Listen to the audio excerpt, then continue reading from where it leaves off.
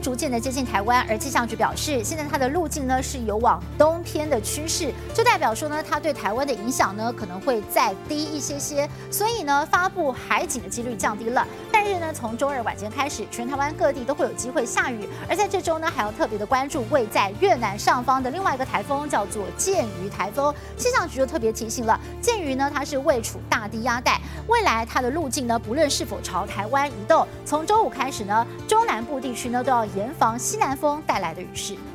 卫星云图上，双台持续发展。虽然台湾东方的岭林距离越南附近的台风剑鱼较远，但两个台风属于同一个低压带，仍会有互相牵引的作用。未来动态较难预测。这个台风未来还会再增强，所以它暴风半径有可能再扩大一些。按照气象局预估路径，太平洋高压东退，岭林台风东偏，但岭林持续增长。气象专家评估，不排除会达到中台等级。周日晚间，中南部及北部山区会有短暂阵雨。周三。三周四全台有雨，可能达到局部大雨或豪雨等级。不过目前专家一致认为，变数最大的是第十四号台风剑鱼。所以他现在是被这个领宁拉着往北回走。那未来呢，领宁走得快或慢，就牵涉到剑鱼。